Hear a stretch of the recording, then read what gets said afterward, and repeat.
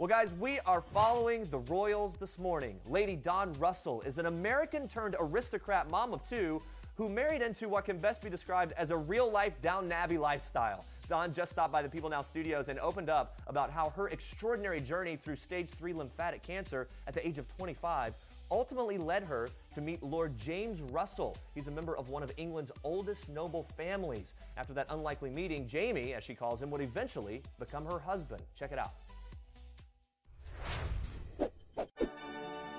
Wasn't even like guy girl meeting each other. I was so incredibly sick. He was in a eight year relationship. So it was incredibly real and authentic us spending time together. I was trying to convince him to propose to her. I mean it was.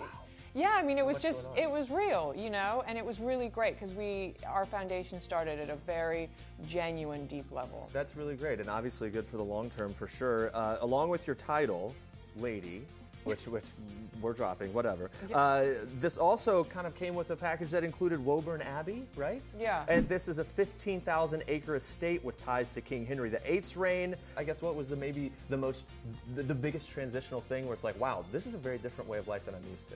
Well, had to move to England. Right, that's a big one. That, that, was that was really big. Right out of the gate. Um, I mean, it really is what comes with Jamie, and I very much am like. I mean, I don't mean to make it sound incredibly bland because it's not, but like any woman entering a relationship, you're like, okay, I'm meeting in-laws, I'm now moving countries, I'm moving in with a with a man. You know, like there's so much you're acclimating to that I really saw it as this is part of the package.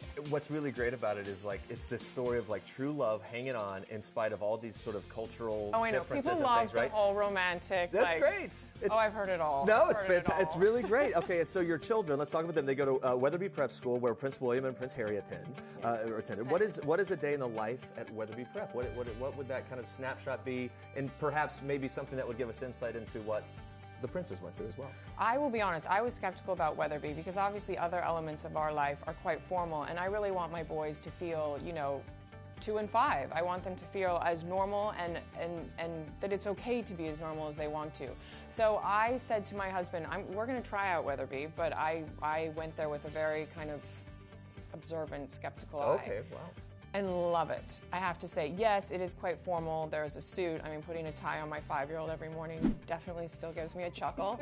um, they have to tip their hat three times, which I'm still helping my five-year-old by like slowly picking it up sometimes. Oh, you know, so yeah, there there obviously are formal parts. Um, you know, he had to give a speech in front of his entire grade, not just little class, but his entire school, because um, they're very, you know, public speaking is, is something that's important. So there are aspects to it that I, as an American, see are so very different. That's really that's, cool to hear and kind of to get insight into that. And let's just be honest, there's nothing more cute than little kids that are dressed up in a tie and like formal wear, right? Yeah, I mean, and pulling, mommy, too tight, too tight.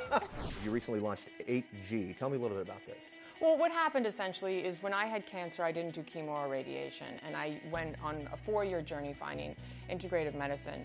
Um, ultimately ended back up in New York focusing on my nutrition. And it was just such a whirlwind. And then to come back and have greens really be what got me back on my feet. Then having girlfriends ask me about greens and realizing you don't even know about greens, it became truly an obsession. And I needed that force of obsession behind me because to make this product, 8G took me five years. We came up with a product that has greens that taste good and doesn't smell. I mean, my five-year-old has it every day, so okay, that, that tells you a lot. my stamp of okay. if I if I have him asking me for 8G every day, it's all good.